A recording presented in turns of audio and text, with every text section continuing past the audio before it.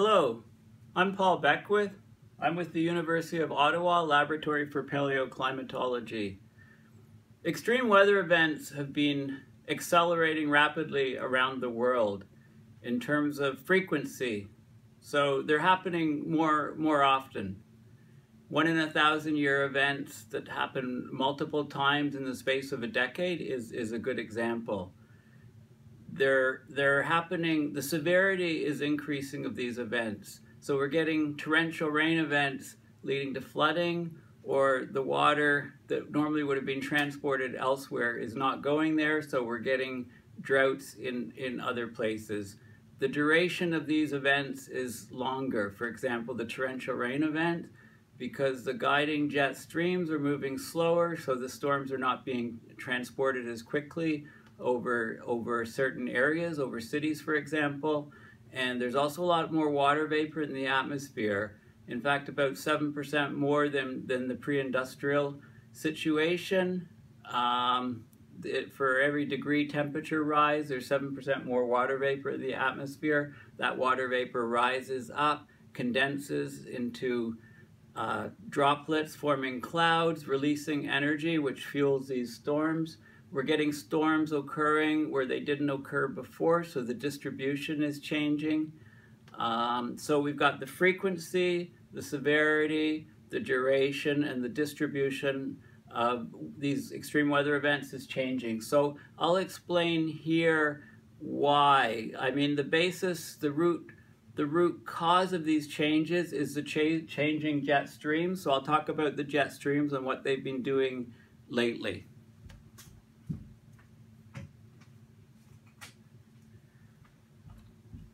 So here we have the uh, northern hemisphere. We have the polar jet circling the circumventing the Earth, the subtropical jet, and then the same thing in the southern hemisphere.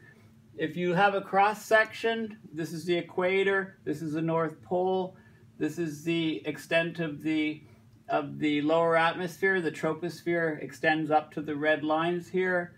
Um, the stratosphere is above. The division is called the tropopause. So near the equator, it's very hot. The hot air rises up a long way. It's about 17 kilometers up to the jet stream. Over in, in, at the North Pole, it's very cold. It's only about seven kilometers up to the peak here. And you get these circuits, so the air rises up, comes down here, cools and descends in the Hadley cell. The Ferrel cell goes this way. It's like a meshing of gears. And the polar cell is this way. And then you have the polar jet here and the subtropical jet here.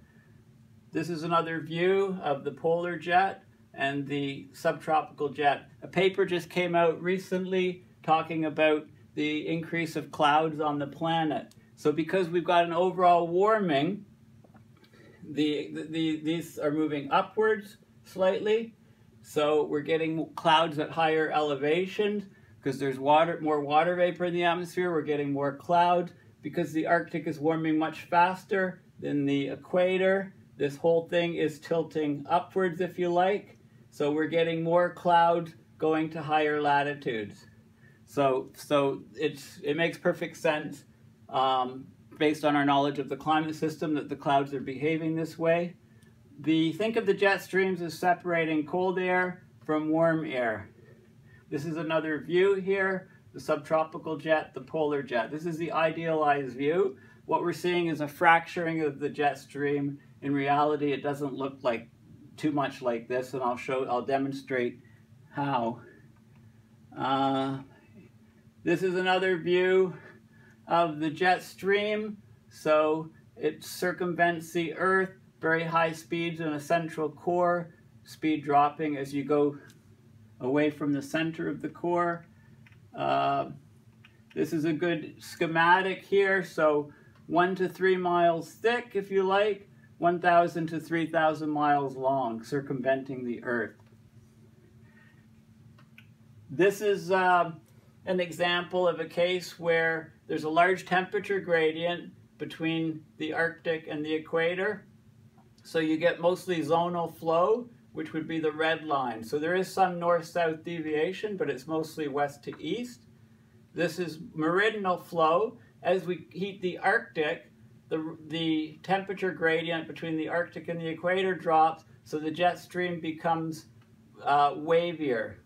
So it goes becomes more meridional, it slows down, the troughs here reach closer and closer to the equator and cross the equator more. I'm, I'm, I, I've been trying to show in my last few videos, although I need to get older data to show that, but we know the Arctic is warming very fast. We know that the temperature gradient on the planet is changing, so therefore the jet streams have to change in this fashion. But of course this needs to be, to, to there needs to be a lot more work done on this area. Um, this just shows some more data on the jet streams here. And, uh, you know, we have cold air coming down here, hot air up here. These are the ridges, these are the troughs of the jet stream. Okay, I hope that helps. So let's look at some data. Okay, so this is, um, in, the, in a couple previous videos, I looked at uh, the jet stream crossing the equator. A lot of meteorologists said, you know, not much is changing, but they really need to look at the climate system and how the Arctic is warming and then see that that temperature gradient is changing and therefore the jet streams have to change. So I'm just going to show a lot of cases here of what the jet stream is actually doing. So, so the dates here, December 21st, 2015, and you can see the jet is basically splitting here Okay, part of it is going north of the equator, part's going south, and then it's combining. So what you see is is the southern hemisphere jet, subtropical jet if you like, although how do you know which one is which? I mean, anyway, this branch here splits over South America and then joins into the northern hemisphere. Another case is here. Okay, uh, December 9th, 2014. So what happens is, of course, as the northern hemisphere winter comes, the jet stream in the northern hemisphere, they all move north, and then as the summer comes, they all move southward. So, and the, uh, the, the, of course, but in the winter, the winters are warming in the Arctic more than the, more than any other season, so that's causing the waviness. So this is the this is the northern hemisphere winter case. Now the southern hemisphere jet stream does similar things, but its movement in the it, with latitude is less because there's more a lot more ocean down here. So the temperatures don't change as much. They're, they're lagging with the seasons, whereas here there's a lot more. You have a lot more atmosphere, a lot more ocean land contrast, and that affects the positioning of the jet stream, the, the crests and the waves more as the jet streams are slowing down. So what you can see here is you can see a lot of movement here. You can see, uh, so, so southern hemisphere troughs would be going this way, you know, crossing the equator, joining with northern hemisphere troughs. So it's very a messy situation here. Um, if I go back here, this is uh, December 14, 2013. And you can see here, um, you can see a motion here coming down. And if I advance, uh, if I advance uh, days, okay, you can see what's happening. This whole thing, Northern Hemisphere jet, is looping and joining the Southern Hemisphere here. Parts of it are coming back up north. It's splitting again here over South America. I can advance a few more days. And you can see this continuing for, you know, about a week or so, a week to 10 days if you keep advancing. Let's have a look at some more, another time period. So this is uh, February 10th, 2015. You can go on Google Earth Null School um, to change the projection. O is the sphere. That's the default. Go to E, and that gives this type of projection. Look at 250 millibar for the jet streams, and have a look at this data yourself. You can see a strong flow here across the equator. Um, there's components from the northern hemisphere jet stream here and here, and there's components from the southern jet stream coming up and combining here. So there's a lot of mixing across the equator of, um, from the jet streams in this particular case. Okay, this is another case. This is uh, February 2014, February 1st, and you can see the waviness here, very strong flow here, lots of mixing across the jet stream, across the uh, equator. Okay, this is a very bizarre situation. So this is uh, February 5th, 2014. And look what happened. Look what's happening up here. Look at this particular loop here. So let's have a look at that in a bit more detail. So if I go back a day,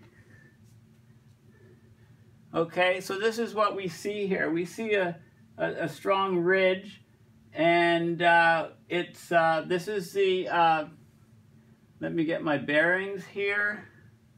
This is the Bering Strait, yes, good bearings. Okay, so you see the strong ridge coming here. You see this strong ridge coming here? So let's advance three hours at a time and see how that develops. Okay, so that's three hours forward. So this is being pinched off over here, getting wider on this side. Advance another three hours.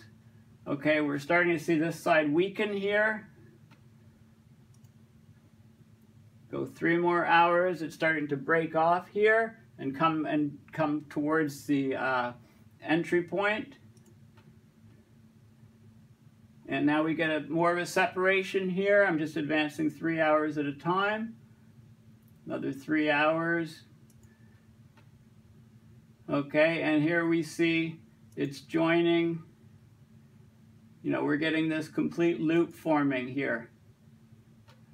Okay, so we're getting a complete loop forming where the jet is being fed here and it's looping back onto itself. So let me uh, go a bit further here. And it's starting to get pinched down here now. Uh, more pinched, more pinched, and it's com separating completely. And uh, then it uh, what happens, is, I believe, is it starts to expand and move up into the Arctic. And there's other bands that are broken off, I guess, from, from uh, you know, the, the, dynamics of it. It's starting to, it's starting to uh, become less focused and, and separate a bit more. But it's a very interesting uh, situation. Now, what other what meteorologists have been talking about is, well, this is just, uh, you know, this is monsoonal flow. Um, this is an example of what we have really by monsoonal flow. So from Africa, flow almost parallel to the jets to the uh, equator, and also in the Indian Ocean here. This is what we have by the monsoonal flow. Um, this is another example. So this is in uh, June 2015 in this case. And this is, so this is another view. We get this monsoonal flow here. Um, I'm talking about this type of flow from, from, for, of the jet streams, not, not this type of flow. You know, this is one of the first cases I showed in the video. This is the type of thing I'm talking about. And I have another view here of the Earth. So this is in the uh, spherical view uh, 250 millibar. So this is the case I showed you in uh, uh, February of 2014, February 5th in this case. So you can actually see, so this is the Bering Strait right here. Move around. Okay, so we have Siberia, Alaska, the Bering Strait, and this is that behavior which I cycled through showing how this thing formed and how it dissipated. So there's a lot of very, so in summary, what can we say about the jets? There's a lot of strange behavior going on. Um, we need to go back um, further back in time to and relate this behavior of the jet stream to the sea ice and snow cover loss because the Arctic is warming rapidly, so the jets are changing uh, correspondingly. Thank you.